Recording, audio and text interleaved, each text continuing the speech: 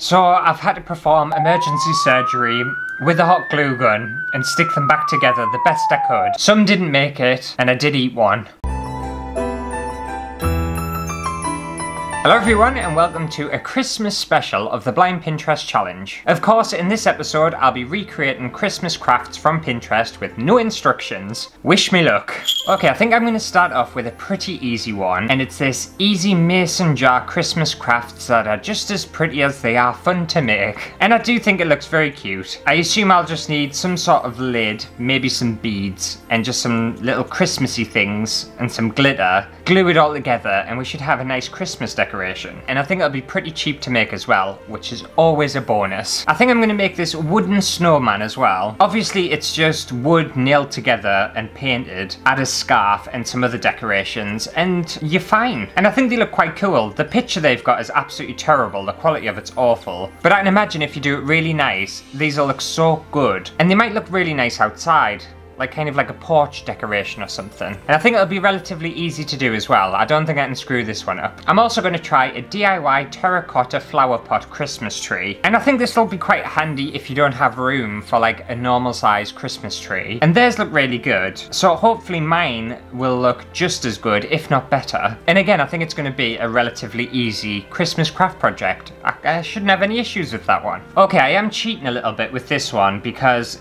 it's basically given us the instructions. Not that it would be too hard to do anyway. I think I would come to the conclusion of hot glue and candy canes to a dish. I'm not that stupid. But I think it looks really cool. I think it'll be a nice centerpiece for a Christmas table or like a lunch, Christmas lunch or something like that. And it's just candy canes, hot glued ribbon and some flowers or foliage in the center. If I keep picking all these easy ones, I've got no excuses, have I? And I think the final Christmas craft that I'm going to do in today's episode is this felt Christmas Christmas tree corn. Because unlike the others, these don't look stereotypically Christmassy. I think they look quite modern and sophisticated, which is something you don't really associate with Christmas decorations. They're usually quite gaudy. And if I'm honest, this is one I would probably screw up the most. Because already it's got a textile element to it, and that just sends us into a frenzy. I just need to keep myself calm and have some composure if I'm going to tackle this craft project.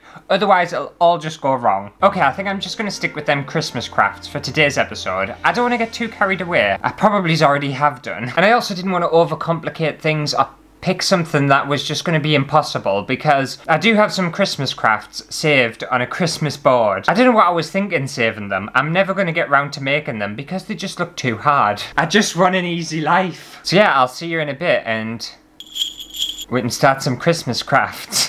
Well, I'm back and I'm on my second energy drink, so I am ready to craft think I've drank too much actually, because I've got too much energy now. Okay, let's put this energy to good use and let's do some Christmas crafts.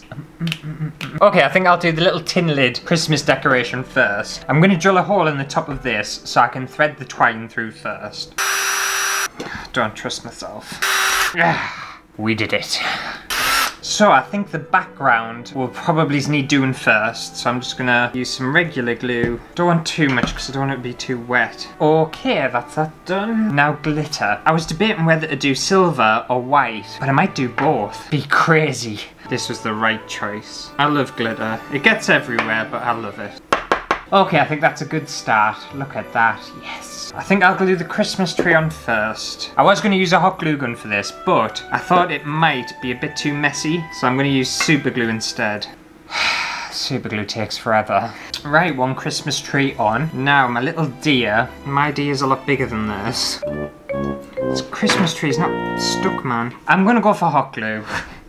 I knew I should have. I always do this. I always think, oh, super glue will be fine, and it just never is. Always use hot glue. It's okay. We're to a little bit of a rough start, but we've had worse. All right, let's try again. So much easier. Now for our deer. Ah, the hot glue's... Hot glue's solidified too quick. This is supposed to be the easy part. Right, take 28 or however many times I've tried to do this. Quick, before the glue dries. And Bambi's successfully stuck now as well, yes. Okay, now brace yourselves. Are you ready for this? I bought pretty much exactly the same beads that they have. That is effort. I deserve a few points for that. Like, it's pretty close. It's not exactly the same, but it's very close. I don't know how you can't see any of, like, their glue or anything in theirs. It's not fair. This is so small and fiddly, it's driving us a little bit crazy. We're getting there, finally. It's only taken us just over 16 minutes. So far so good. Right, now in their pin, they had a couple of these down at the bottom for some reason. I don't know why, but if they've done it, then I'm gonna do it too. Okay, now a bit of twine.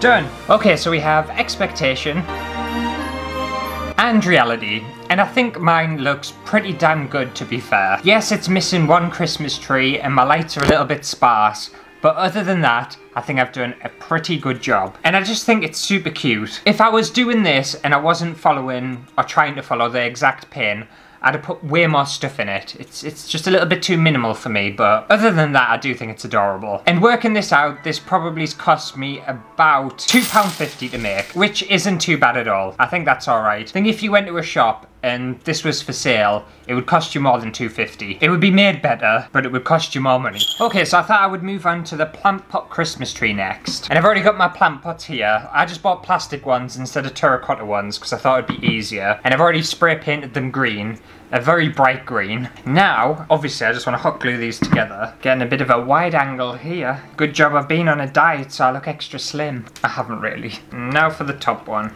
I think that looks pretty cool already. My paint job was a bit rough, but that's okay. Now for the decoration. And again, it's just a lot of hot gluing basically. So I've got some beads like this. I'm going to use these beads as well. I don't want to waste them. And some of these little Christmas pony beads. And a star for the top. And I think that'll be good enough. I d I don't want too much. Says me.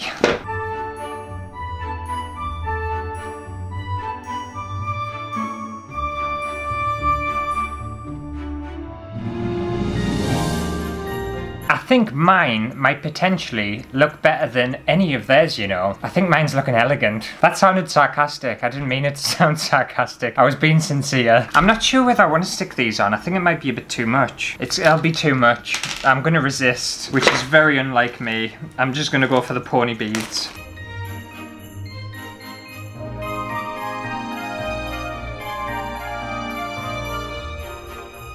I'm getting there. It's taken a while actually. I thought it was going to be a lot quicker than what it was, but it's not. However, I do think I'm making mine on a huge scale compared to theirs. Looking at their picture, I think theirs is quite small, whereas mine is almost the same size as a regular Christmas tree. Well, no it's not. That was an over-exaggeration, but it's still quite big. The thing is, I wasn't going to put them light ornaments on because I thought it'd be too much. But now I don't know when to stop with the pony beads. When do I say no? When have I got enough? There's no one here to tell me. Okay, I think I'm going to stop because otherwise I'll just cover the entire thing. Alright, now time for the star. I think I'll go for red.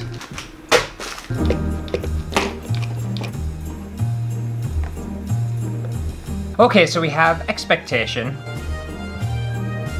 and reality. And like I said, I think mine looks better than all three of theirs. I think mine looks so good. I think because I've made it ginormous, if you got up really close to it, you would see giant blobs of hot glue. But we just won't go there. We won't go that close. But I think I might put it in the background so you can see it. So the studio looks a little bit more Christmassy. It's looking a bit boring, isn't it? Ah, we'll put it there for now. right in the corner. And that cost me around about £8.50. So, not bad. Not bad at all. Um, not mad at that one either. Okay, so the next Christmas craft idea I thought I would attempt is the wooden snowman. And I started off by cutting some random planks of wood I found around the farm.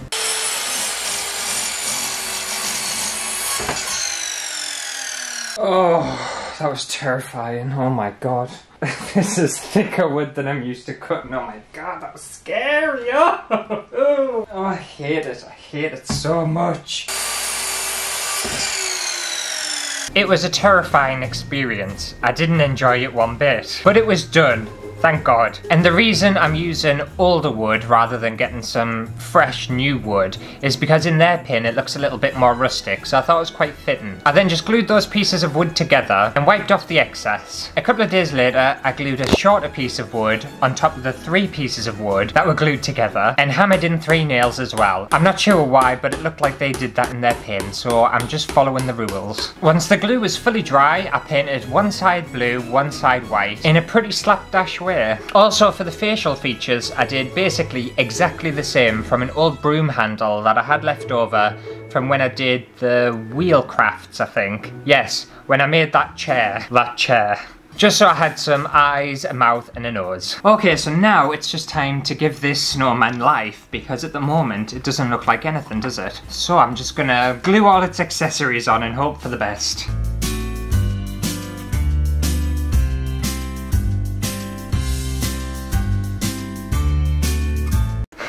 I think it looks so fun. Oh, I think I've done its face too low down. Scarf's gonna go right here. Oh, never mind. Oh, I think my scarf's a little bit short. Oh no, that's very short. Ah well, it still has the same effect, it's okay. Okay, and I think I'll stick some of these on the top. Maybe it's up here. How many do I want? I think I'll stick about three.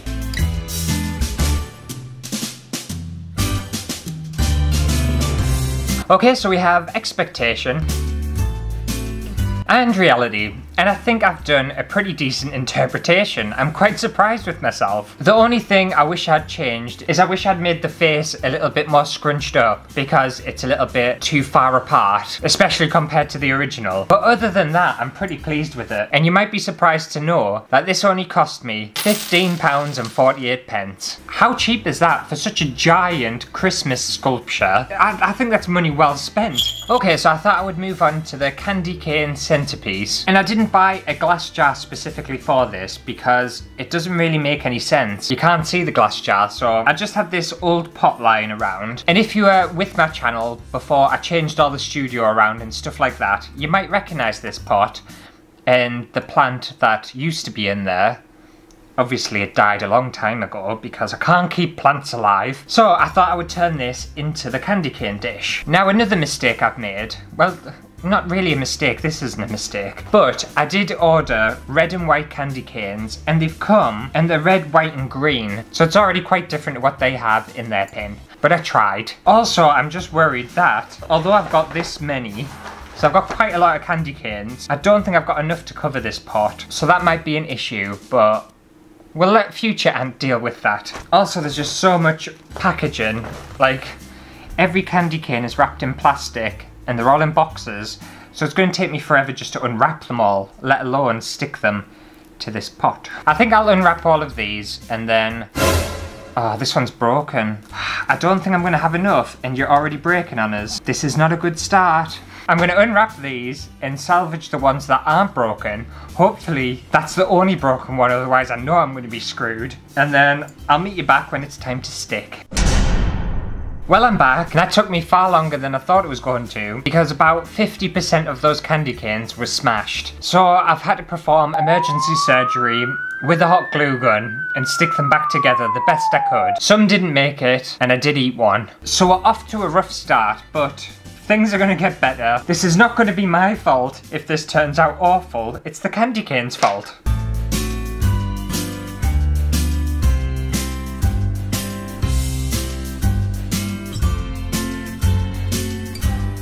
So, after a long time hot gluing, I've fully covered it. I am also losing so much energy. I started off with so much. It's all gone now. Since it's Christmas, I'm pulling out all the stops and I'm going to do it properly. So I even bought foliage to go on the inside. I think I'll cut these roses down.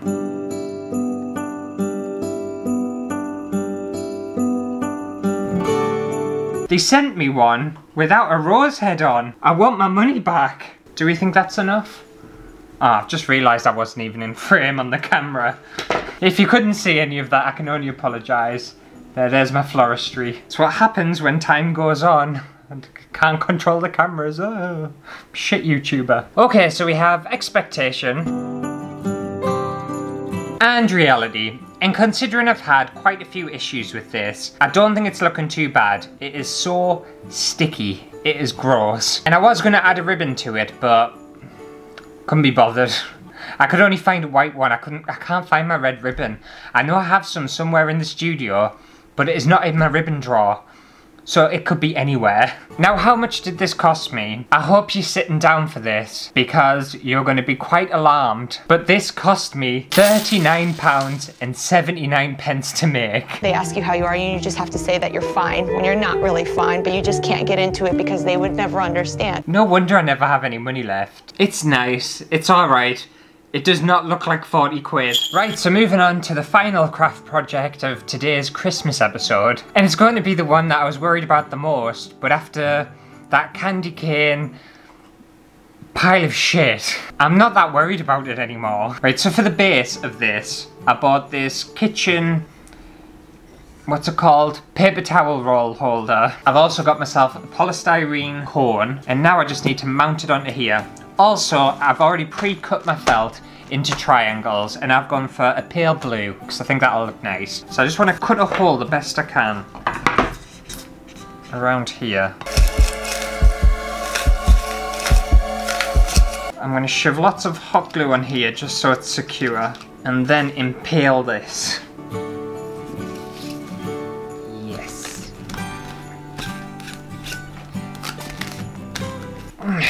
Hold it still so I can't move. You're not moving. The later it gets in my videos, the more I lose my mind. So now all I need to do is hot glue my triangles to this, and hopefully I've got enough. If I don't, I'm not going to make any more. Well, I probably will, but I don't want to. I really don't want to.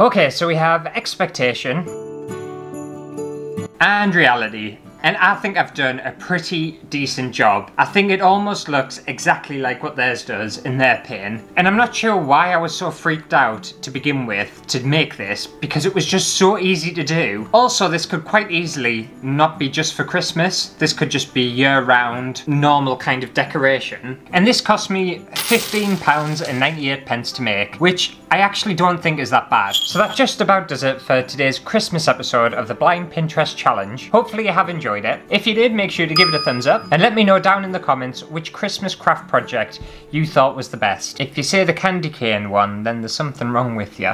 But anyway, I'll see you on Friday for a brand new video. Bye!